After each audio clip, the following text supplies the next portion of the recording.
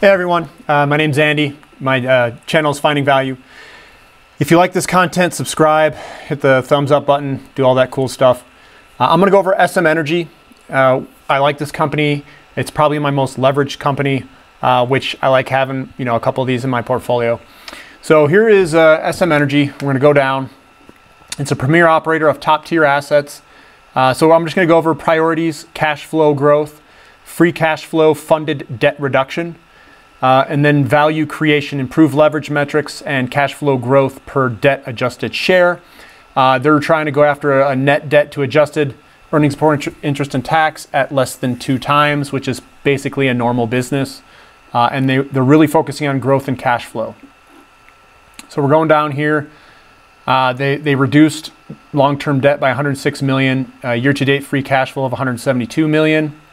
So they're, they're, they're reducing debt uh, they're going to increase production next year. We can go through that.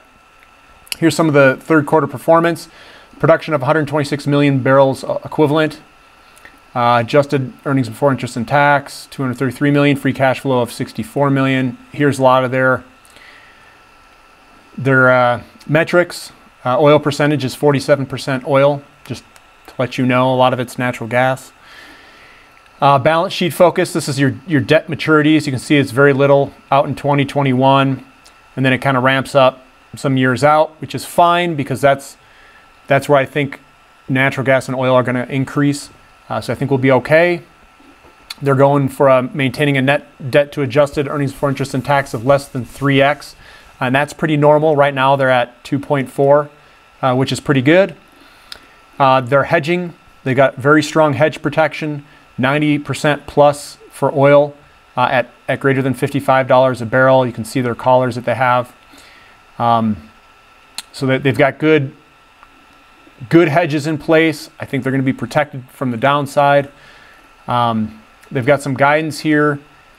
Uh, lower expenditures, same production roughly. Um, so yeah, they're gonna they're gonna do well. Hopefully going forward.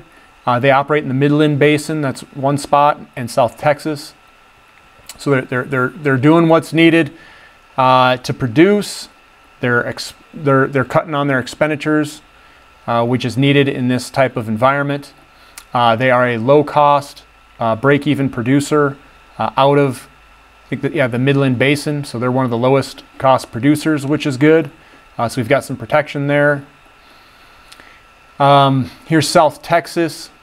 Uh, Austin Chalk success, that's one of the, the things that they were talking about on their conference call. Continued optimization of Austin Chalk landing zone and completion design has led to outstanding performance for latest wells, which is really good. Uh, scrolling down here, they're talking about the Austin Chalk success. Here's South, South Texas, Austin Chalk driving value creation. Uh, premier operator of top tier assets, Great wells support 2021 outlook. Production uh, project double digit total production growth and strong double digit oil growth. Uh, and then they have the net wells drilled, net well completions. Uh, expect 10% increase in capital activity over 2020 to get this production growth. Uh, they're obviously an ESG company about environment and all that and social. Uh, yeah, again, it's this is what their priorities are, their targets.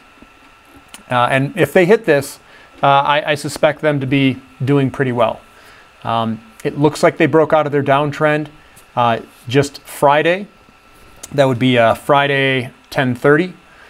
So we hopefully we see this strength of the downtrend break continue going up.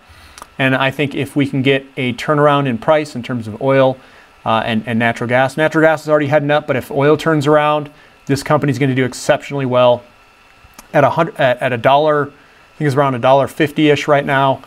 That's that's very cheap. If if price can come back, you know, in terms of oil, I think this this company is going to be way higher. So SM Energy, I like it. It's probably my most leveraged bet, uh, but sometimes these pan out extremely well uh, if we can get price to turn around here.